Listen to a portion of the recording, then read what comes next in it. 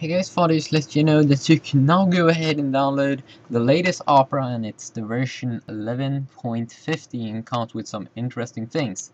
Now, whoa, what happened there? What did they do?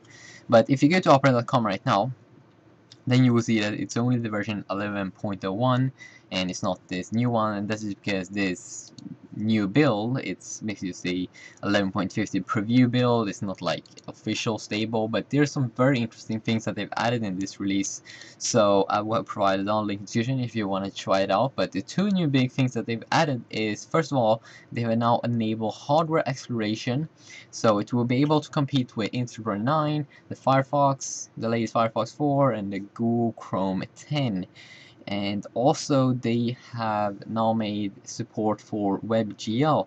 So you can do all of these cool things that Google have like Google have a lot of cool things in WebGL.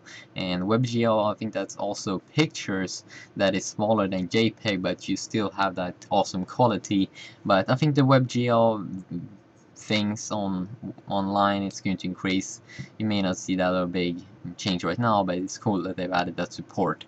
And okay so first of all this hardware acceleration thingy. Finally it will be able to compete with these kinds of fish tank tests and stuff like that because it got awesome hardware acceleration and it's using OpenGL to use uh, to have this hardware acceleration thingy.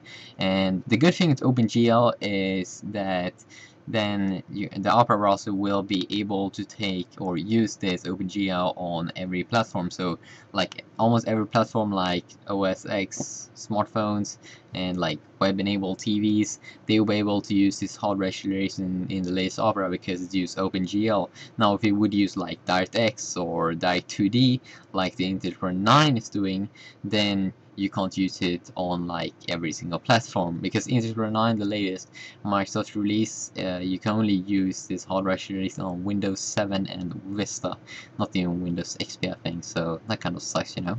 And then we have the awesome support as I said the WebGL. You will be able to go now in the Google body and like experiment with that. And Google also have a lot of like experiments with WebGL. You can use Google to find some awesome things to you know try out. Some things that didn't really seem to work uh, some things in WebGL that works in Firefox 4 and the latest Google Chrome like the Flight of Navigator WebGL demo doesn't seem to work in Opera 11.50 but hey it's just the preview build hopefully it will work awesome in the stable release so they'll probably update the website in a couple of days so kind of cool so now when you have WebGL if Fire or if Opera is your main browser, then you'll be able to go and do things like this. Yeah, I know. I know, I know. But there, there's some cool Google Body, this Google Body Labs. It's it's kind of epic, you know. You can do some epic things. Yeah. I know uh, I'm not trying this in Opera. Maybe I should, because I'm making a video about Opera. But yeah, guys, see you.